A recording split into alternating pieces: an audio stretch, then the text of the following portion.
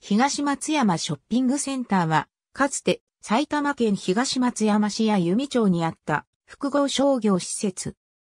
東松山ショッピングセンター、引郡小川町で創業した島村は、1963年5月に東松山市材木町にチェーン1号店をオープンし、本社機能を引き地方の中心都市である東松山市に移すが、1970年5月には食品スーパーマーケットのマミーマートと共同出費により、同社の複合商業施設の先駆けとなった東松山ショッピングセンターを東松山駅前にオープンし、1982年に大宮市宮原町に本社移転するまでの間、当施設に本社機能が設置されていた。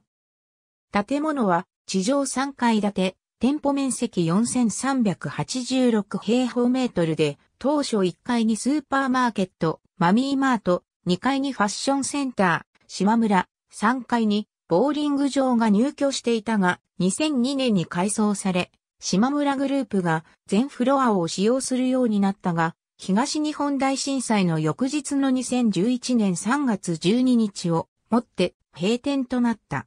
跡地は東松山駅前ファッションモールが2011年秋にオープンした。ありがとうございます。